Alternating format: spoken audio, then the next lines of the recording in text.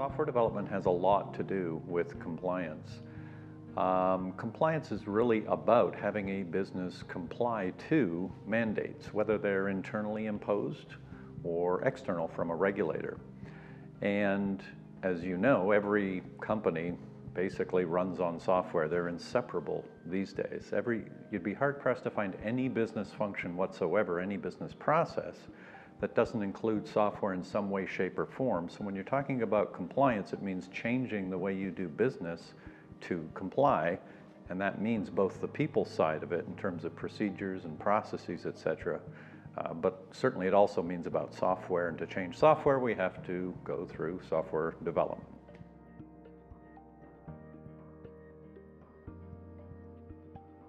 Why is it hard to achieve compliance in IT? Wow. Um, well, anything that's complex is difficult, and regulatory compliance is incredibly complex. The regulations are complex. When you think of a regulator imposing a regulation, there isn't just one, there's multiple. If you're a globally operating company, now I have multiple jurisdictions and multiple regulators, and not just regulators, standard bodies as well. And these regulations don't, they're not static. They keep changing. There's updates continually. They come in various forms and flavors, some abstract, some prescriptive. So that's just one side of the complexity equation. The other side, of course, is that technology is changing at a dizzying pace. So IT is struggling just to keep up with business demands uh, and the rate of change of technology, not to mention all the regulatory complexities that I just spoke of. So it's an incredibly complex environment. That's why it's so difficult. And it's not made any easier with the tools people are using today to try to solve that complexity problem they're really, it's really tooling that uh, hasn't changed a whole lot since, you know, the 1980s. Many organizations are literally using word processors, documents, spreadsheets to try to tackle this incredibly complex problem, and they're falling behind, quite frankly. AI has incredible opportunity when it comes to regulatory compliance. Uh, basically, wherever there's large volumes of data that we're having to deal with and manage and make decisions based on, there's opportunity for AI to help streamline that, make it more effective and more consistent. Uh, and regulatory compliance is no different. So, and that's both on the what I call the input side. So, having to become aware of and ingest and interpret and understand what's being asked of us and what's being expected of us as an organization in terms of compliance. Huge volumes of data there where the regulatory content itself and all of the updates, and it has to map into the business objects that we have, of which there are so many, and the risks and controls and so on. Um, that's a huge uh, opportunity in many different facets, but then also on the output side, as I would call it. So the whole verification, validation, regulatory reporting side, again, mountains of operational data and evidence that we have to deal with, sift through, narrow down to provide the answers that the regulators need to be able to do their job.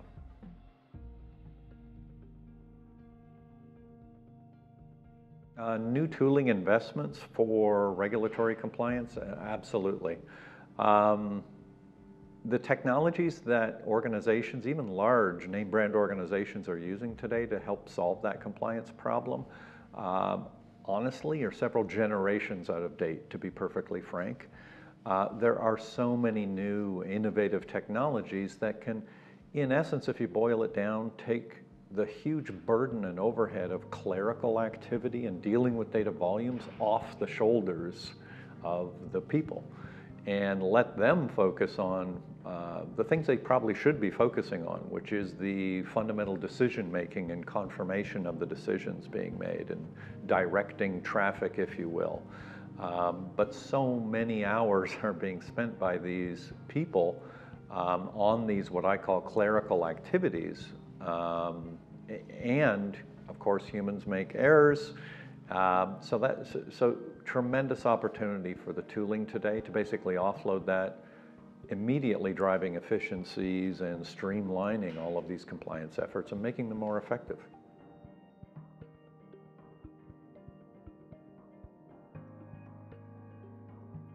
An organization has achieved compliance, implies they're done, they're never done, right? The, it, it changes and it never stays still. The business changes, uh, the regulations are changing, the market that that business is servicing is changing, and in the face of these change, the problem just turns immediately to maintaining compliance and maintaining it in an efficient way.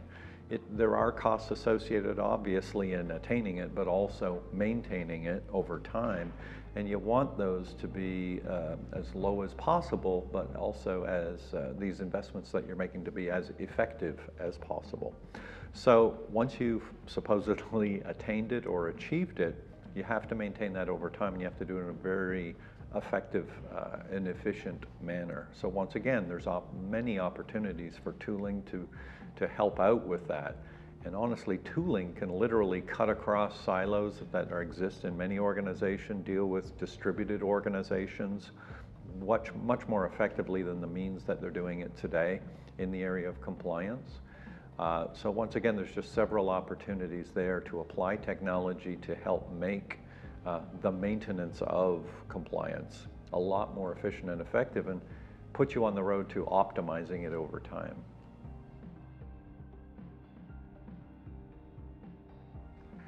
Um, how does the compliance problem differ across industry? Wow. Um, well, at its base, compliance, again, is the same across all industries in terms of you're just being asked to comply with certain mandates or requirements, if you want to call them that. Um, but if you, I don't know, I'll pick a couple of industries that I know we serve uh, intensely, and that's financial services and banking.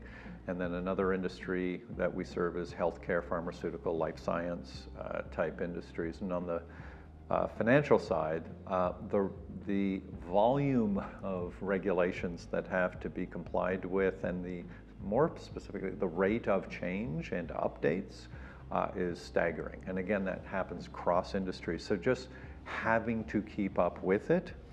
And of course, if something were to fail, I mean, there certainly are consequences to that. Um, in most cases, you know, monetary consequences, and, and, and so people will weigh the options and, and invest whatever they feel is prudent, depending on their risk tolerance levels, uh, toward compliance. When we deal with uh, life sciences and healthcare pharmaceuticals, I mean, literally lives are on the line.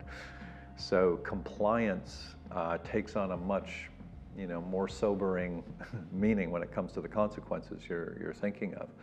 The volume tends to be as high, the rate or pace of change tends not to be because there's a lot of deliberation, consideration, proving of, of these uh, regulatory requirements and standards and guidelines that needs to take place. So, so we have a, hopefully have a much better sense that we've got it right before we put it into practice. So it tends to be a little more stable, volumes high, consequences staggering. Uh, the financial services, high volume again, pace of change is just is, is out of this world, and trying to keep up is a, is a massive, huge challenge.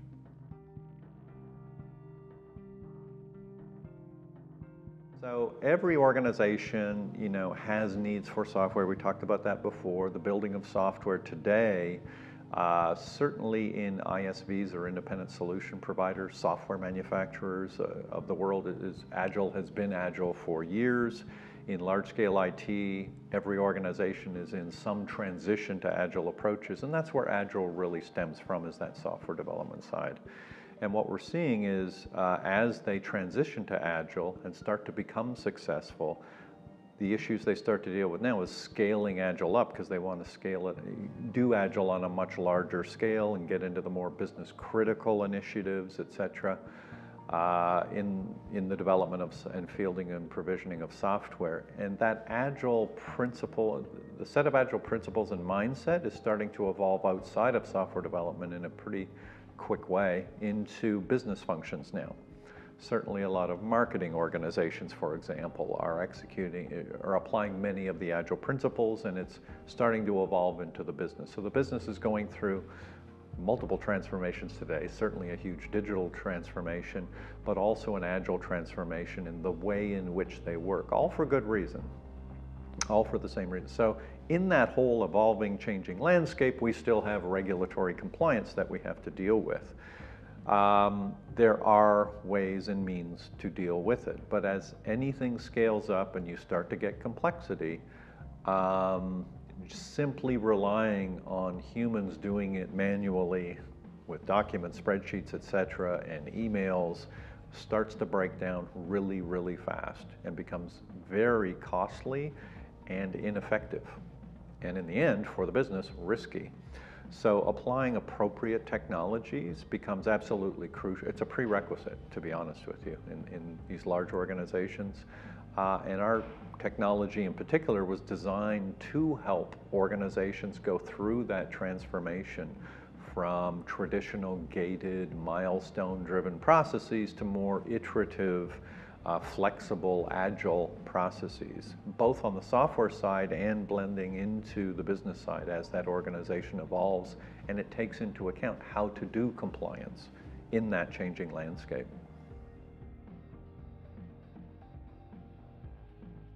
How can highly regulated industries like pharma and healthcare take advantage of technology? Um, there's lots of opportunity for this. Um, again, in the healthcare, pharma, life sciences industries, uh, consequences are dire if we get it wrong, clearly. So we need to be paying attention, and compliance is hugely important for those reasons. Uh, once again, it tends to be well-intentioned but very heavy document-based processes that organizations tend to go through. Uh, we can still attain or achieve that level of rigor, but it doesn't have to be with, as I say, 1980, 1970s technology documents. Uh, there are much more effective ways to do it that can lessen and reduce the human error at the same time lessen and reduce the overhead uh, associated with this uh, as we digitize or apply modern tooling to this problem. So all the content which is in the package that I call a document, if you strip away the package and just look at the content, that's what we're dealing with in the tooling.